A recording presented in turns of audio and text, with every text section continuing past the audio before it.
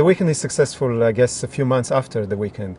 Uh, when people are, when those entrepreneurs are actually taking what we're teaching them, implementing parts of it or all of it into their into their business, and when they start seeing results. And uh, for some it takes a few weeks, for some it takes a few months, for some it can take six months or eight months until they see results. But I think that when we get, when we start getting those emails from people saying, "Hey, I tried this and it worked," or "I do this and it's fantastic. I just doubled my income, or I just tripled my income, or the number of clients that I'm getting are growing, or I'm having, I'm, I'm spending much less time in my business. I can spend more time right now with my family. I'm more balanced. I'm more focused, and I see the results. That's when I can consider it successful.